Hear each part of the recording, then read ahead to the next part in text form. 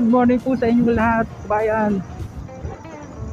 Kagaya po ng inyong nakikita, tayo po ay nandito sa Kalamba. In particular, nandito po tayo sa Bukal Bypass Road.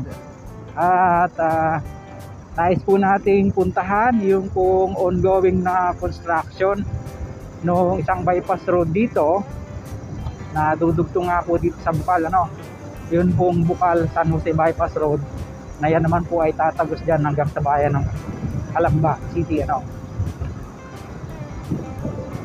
Bagaman ngayon po ay holiday ay uh, sinika po natin na marating yung lugar kahit medyo malayo-layo. Para maibahagi po sa inyo yung mga latest development po dito. Unang sili po natin ito dito kabayan. At nakita natin lalo na yung view pabalik no dito kanina nasili po natin yung aerial view niya. Pagmasdan niyo po dito sa itong uh, traffic light na approaching sa atin ay busy sa ngayon. Dahil nga po holiday Lenten season. Ay medyo marami-raming konti na nga lang yan compare po nung mga nakakaraang araw no? nakikita nyo po yung uh, padiretso na yun na kalsada tatawid ng traffic light. Kaya lang sa ngayon ay hindi pa po yan nagagamit no? Nakita natin dyan sa aerial shot kanina. Uh, yun lamang po yung ating paraan para makita yung kadugsong. Lamang malayo pa po yung ano. Ay lamang hindi pa po nagagamit. Kakaliwa po tayo dito sa national road no? Papunta po ito ng uh, Kalamba sa crossing.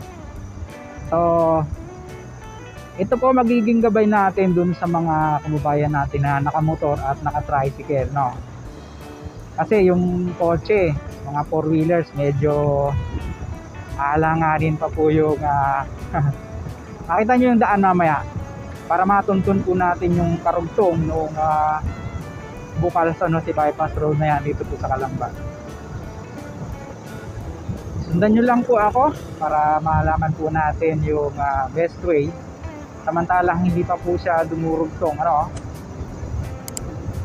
Eh meron naman pong ibang daan para matuntun po natin yung uh, pansamantalang daanan papunta po roon sa bayan ng Kalamba particular dyan sa barangay na San Jose.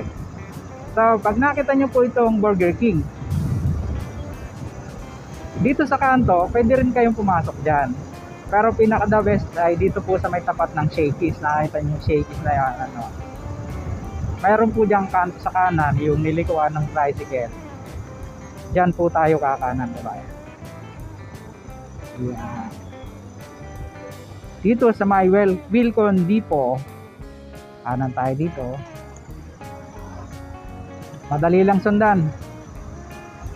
Dalawang ligo lang ha. Kaliwat kanan lang. Hindi, joke lang. And then turn left po tayo dito mga boss. Dito sa kanto eh. Yung lilikuan ng tricycle. Kaliwa po tayo dito. Ito yung sinasabi ko sa inyo na alanganin ng kotse, di ba? Oh. Itutuusin, one way nga lang to. Kita mo yung mga motor na sa lubong, hinto na. Oh. Para lang makalusot siya. Op! Thank you, bossing! Una na tayo. Para mabilis-bilis yung ating diyan residential po ito. Pero pag nagawa po yung bypass road no problem na kabayan. Dire-diretso na lang po. And then merong maliit na tulay. Ayan no. Sa creek kanan tayo dito.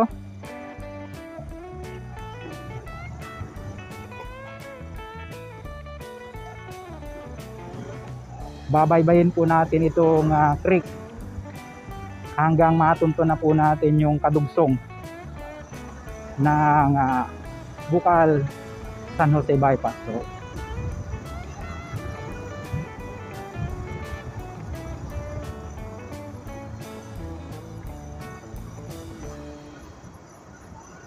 Medyo malayo-layo pa po yung ano yung nakita natin may mga poster ito palibas at mabababa pa hindi pa makita sa drone no uh, malayo-layo pa dun sa ating location na pinaga take off pa ng ating maliit na laruan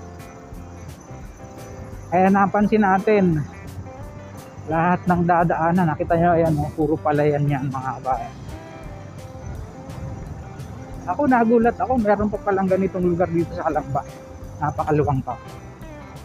Nung una ko po mapuntahan ito. Actually, napuntahan na po natin ito dati. Na i-share na po natin sa inyo yung kapiraso nitong video diyan sa the uh, YouTube short natin. Pero ngayon ay full video, full video na po yung ating ibabahagi sa inyo. Para makita na po natin yung kagandahan ng uh, lugar. And then yung development no? Nakita nyo mamaya maging byland saka drone shot natin dyan sa una-unahan ng konti napakaganda magi yung kabilang creek na yan no palayan din yan no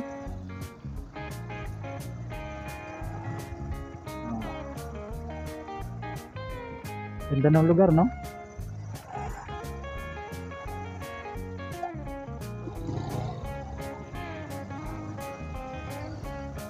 Tapos sila nagbibilad ng palay sa kalsada. Mabilis lang matuyo kasi dyan. Dahil sa sobrang init.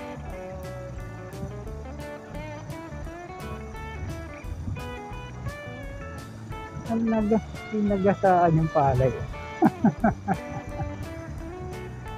Ayan yung isa naman nakakita natin yung nag spray ng damo. Kamatay damo. Ayan nakikita nyo yung kahabaan na yan. Diyan tayo pupunta. Hindi lang po masyadong natanaw sa drone kasi nga medyo may kalayuan mula doon sa ating uh, location kanina sa may bukal. No? Ito po yung sinasabi ko sa inyo ng mga poste magkakaroon siguro ng ano dito parang pinakang flyover no? Ang laki oh. Kasi hindi naman pwede. Dit, malaman po natin kung paglalaon yung ate yung development yan so subaybayan po natin siya. Ito yung kanilang opisina and then yung mga girder na ilalagay dyan dito pala ginagawa ayan oh. Ayan.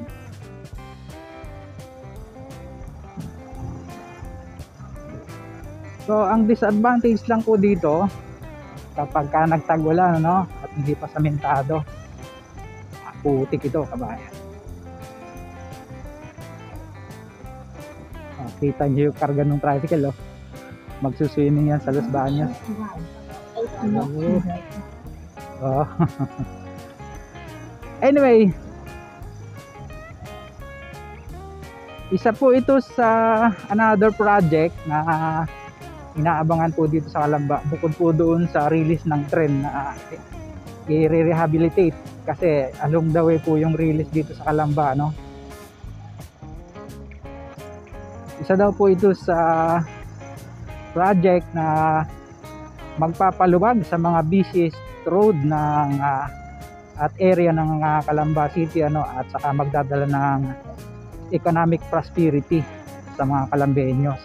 Dagdag pa niyan, ay magtatayo po pala ang development uh, uh, yung developer na Bria diyan sa Banyade, Banyadero Banyadero correct correct po ako kung ako ay nagkakamali ng ano ng bigkas ano. Yung pong Bria Homes both uh, horizontal saka vertical housing ano.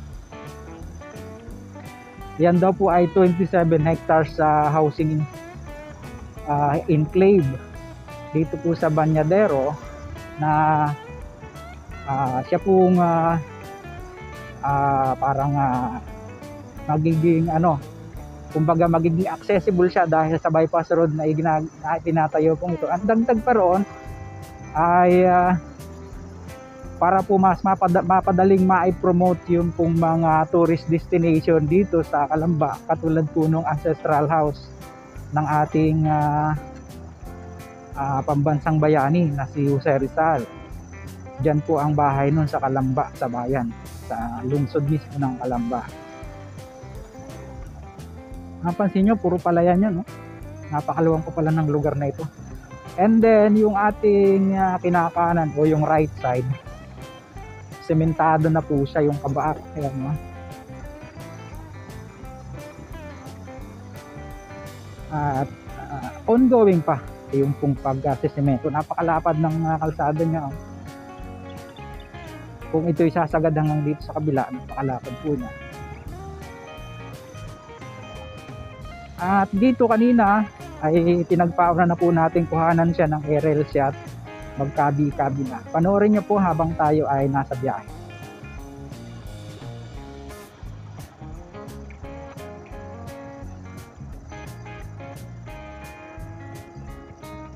Kita nyo naman oh.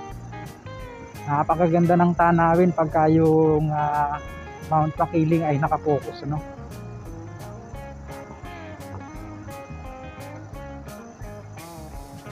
Then dito po sa kabilang side, yun pong lawa. Nasa right side po natin yung lawa. Ang luwang niya oh. Two lanes magkabila, magkakaroon po ng sidewalk. Diba?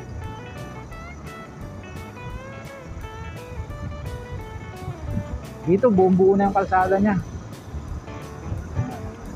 At ito po, Barangay San Jose na yan, tatagusan natin na yan. And banda-banda ro ng konti, yun po yung ah, Banyadero.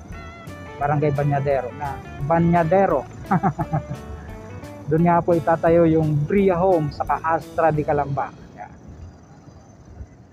Hanggang dito na lang po muna yung pong ating vlog na na-share po sa inyo. Palabas na po tayo ng city proper, no? ng Kalamba. Siguro naman pagdating dito, madali nyo nang matunton yung mga main roads ano. Yan. Hanggang dito na lang po muna yung pong ating video na naibahagi sa inyo.